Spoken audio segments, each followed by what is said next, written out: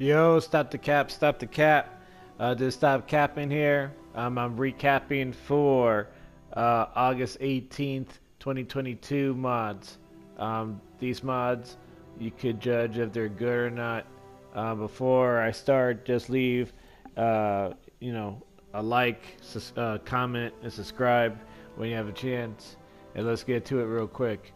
Uh, we got linear fusion rifle loader increases reload speed for your linear uh, fusion rifles. This is pretty good right now, especially for those heavies. Um, bow targeting, improved targeting acquisition accuracy, aim down sights for bows. I would definitely use this for something like Le Um, light of the fire rapidly defeat targets. Detonation Warmind cells generates orbs of power. Um, if you want to just keep doing the orbs of power thing, then I guess that's okay, but usually Warmind cells are trash unless you're getting the, the medic uh, mod.